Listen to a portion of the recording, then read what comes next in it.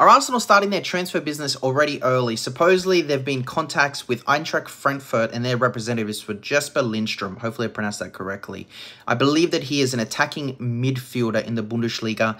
And look, guys, I don't know too much personally about this, but if he is that attacking midfielder, personally, I don't believe that we need this. I think we, we you know, we got Vieira, Emile, and also uh, Odegaard in that particular role. I think we need more of a CDM holding to cover Partey personally. But guys, let me know what you think of this potential transfer, what type of price tag that you would put on this, and if this is a good move for Arsenal in January. Great to see that obviously we've been linked with people already now, plenty for January.